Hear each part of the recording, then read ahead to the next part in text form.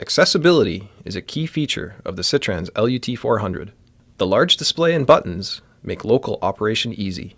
But what about configuring the LUT400 remotely? The browser-based LUT400 configuration tool makes remote operation easy. Simply install the software from the DVD that came with the LUT400 or download it from our website. Then connect the LUT400 to your computer with a standard USB cable.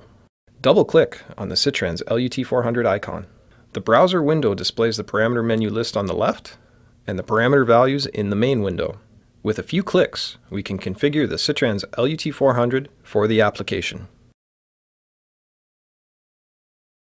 Setting alarm or relay functions is just as easy. With the browser tool, you can create a configuration summary for your records.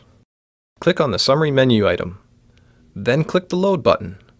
The full parameter list and an echo profile are transferred to the browser tool.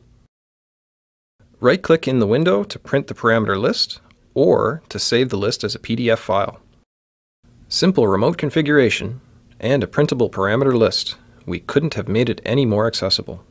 When you are ready for a remote configuration tool with more features, the Sitrans LUT400 can be connected to Simatic PDM, AMS, FDT, or a HART communicator. For more information on the Sitrans LUT400, please visit our website.